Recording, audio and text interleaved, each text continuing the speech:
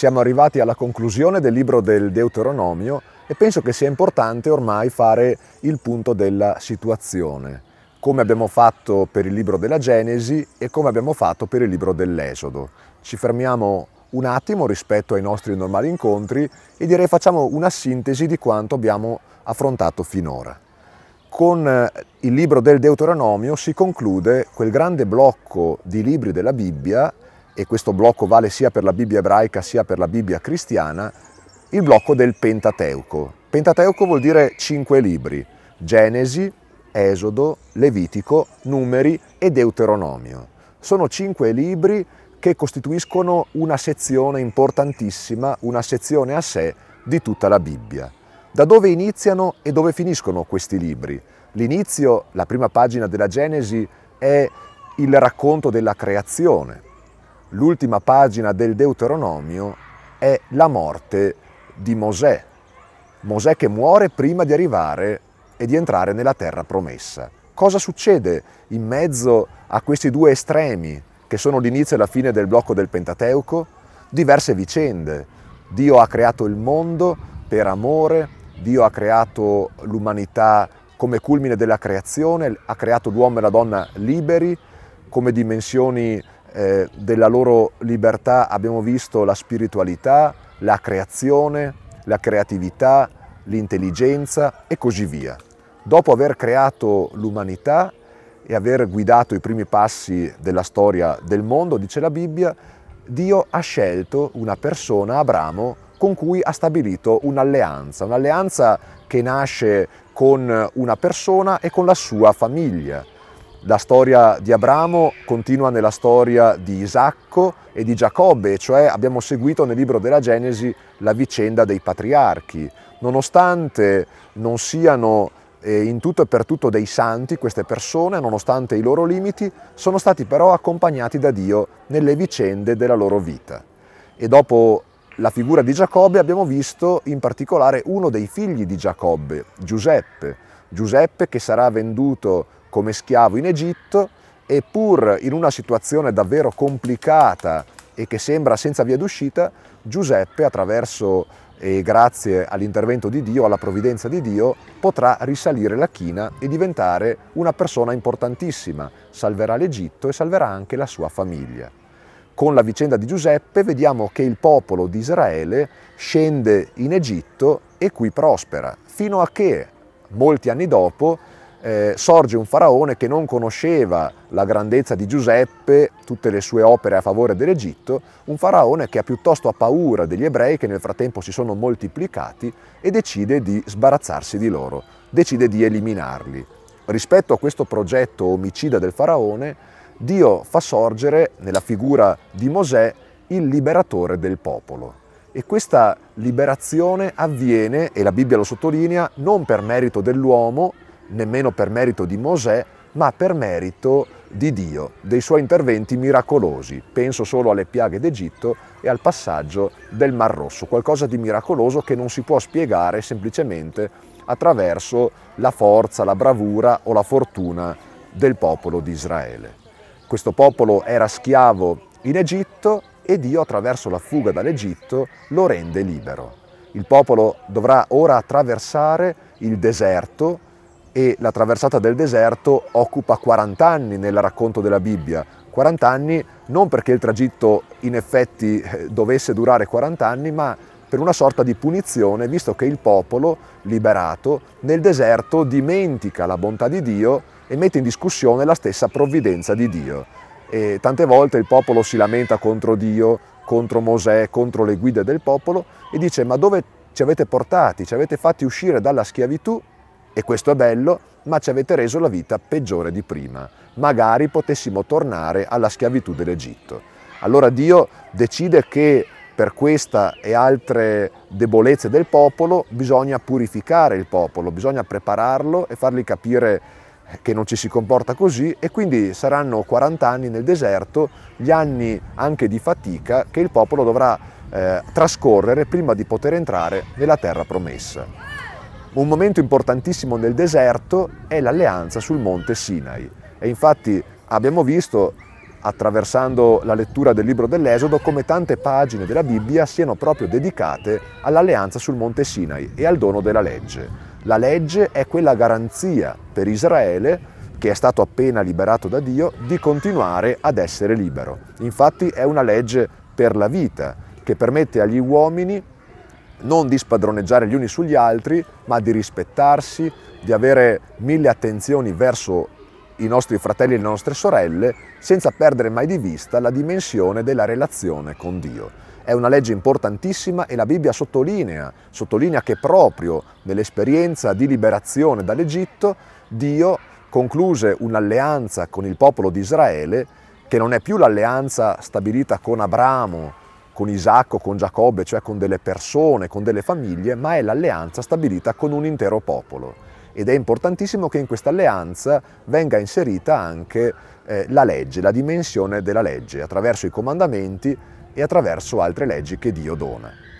Abbiamo visto poi come eh, dopo la sosta sul Monte Sina il popolo riprende il cammino attraverso tante tappe, attraverso tante lamentele e difficoltà, il popolo però ormai è arrivato alle soglie della terra promessa.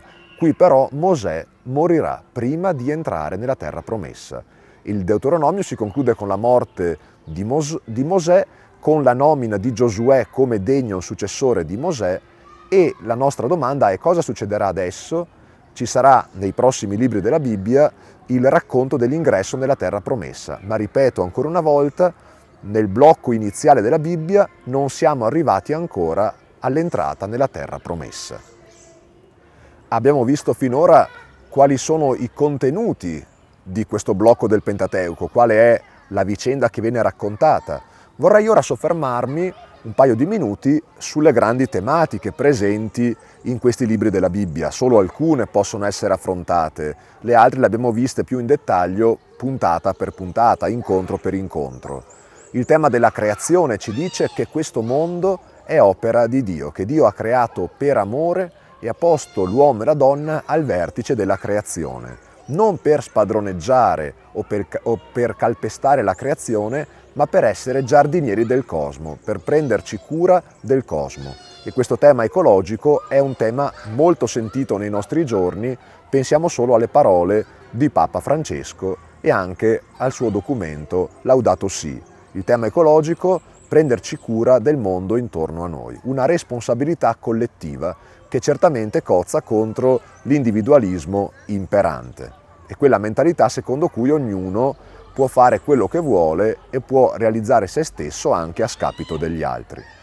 Un altro tema bellissimo del Pentateuco è questo ruolo dell'umanità, il rapporto tra uomo e donna all'insegna della creatività, dell'intelligenza, della spiritualità, all'insegna del rispetto reciproco. Un altro tema molto bello è il tema della fratellanza. Abbiamo visto, attraversando le vicende di Abramo, Isacco e Giacobbe, come le famiglie dei patriarchi non siano famiglie candide, limpide, ma ci siano in queste famiglie molte tensioni, molte chiusure, propositi di vendetta e ostilità. Insomma, la Bibbia ci dice che la fratellanza non è mai data per scontata, ma è una fratellanza che si guadagna, che si acquisisce con fatica, anche con le lacrime. Pensate all'inizio, Caino uccide Abele, è proprio un inizio molto duro rispetto al trattare il tema della fratellanza, però alla fine del libro della Genesi Giuseppe si riconcilia con i suoi fratelli. Vedete il percorso che è stato fatto, davvero qualcosa di bello che ci indica la possibilità, per quanto magari sia faticoso, di vivere rapporti riconciliati tra fratelli e all'interno delle nostre famiglie. Un altro tema a mio parere davvero molto importante riguarda lo scontro tra Dio e il faraone non semplicemente tra questi due personaggi che compaiono nel libro dell'Esodo, ma tra i modelli di vita che sono legati a Dio e i modelli di vita che sono legati allo stile del faraone. Il faraone vuole comandare su tutto il mondo, calpesta le persone, il faraone è l'ideologia imperante, potremmo dire oggi il faraone è ciò che è di moda, è ciò che vuole eliminare gli scarti, i cosiddetti scarti. Dio invece è un Dio liberatore, che si prende cura anche dei più deboli, di coloro che sono maltrattati, di coloro che sono considerati degli scarti, delle spazzature. Dio si prende cura di loro e manifesta al faraone che è lui il vero Signore della storia e non i potenti di turno, che calpestano gli altri e si servono degli altri. Dio invece non si serve degli altri, ma Dio serve gli altri, lo vedremo nel modo più bello nella vicenda di Gesù. Fatto sta che Dio suscita Mosè come liberatore del popolo e in effetti questo popolo sarà liberato. La libertà però che Dio ha conquistato a così caro prezzo, i portenti d'Egitto, il passaggio del Mar Rosso, è una libertà che giorno dopo giorno va mantenuta e va garantita. Ecco allora l'altro grande tema del Pentateuco, il dono della legge. È una legge per la vita dell'uomo. Non è una legge che rovina le giornate degli uomini, ma i comandamenti vogliono essere una legge di libertà. Abbiamo visto come i comandamenti in fondo non dicano cosa bisogna fare, ma dicano quali sono i punti di non ritorno, cioè cosa non bisogna fare. Dio affida poi alla intelligenza dell'uomo, alla sua creatività, il bene che c'è da fare e c'è tanto bene da fare nel nostro mondo. Vorrei però ora farvi fare un passo in avanti rispetto a una semplice disanima degli episodi e dei contenuti del Pentateuco. La cosa che dovrebbe subito balzare agli occhi come una stranezza è questo fatto. Mosè, il più grande personaggio della Bibbia ebraica, muore prima di entrare nella terra promessa. Il suo compito era quello di condurre Israele nella terra promessa e Mosè lo sta svolgendo, lo ha svolto bene. Ma com'è possibile che il più grande personaggio del mondo ebraico non sia entrato anche lui nella terra promessa? Questo davvero è qualcosa che potrebbe scandalizzare. Come mai, se questo è il blocco per la Bibbia ebraica più importante di libri, non si racconta dell'entrata nella terra promessa? C'è un motivo molto importante.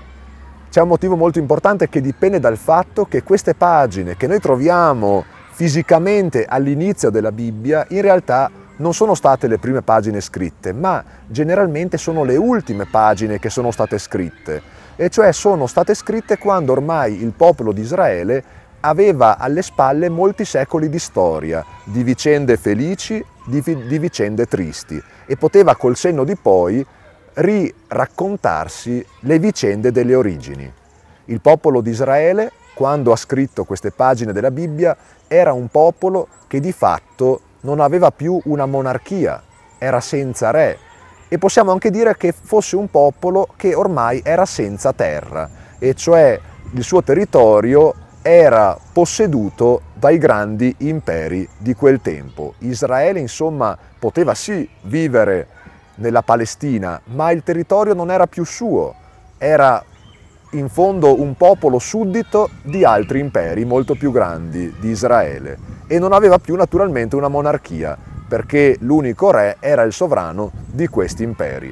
Parlo dell'impero persiano, parlo poi dei regni sorti da dalla vicenda di Alessandro Magno.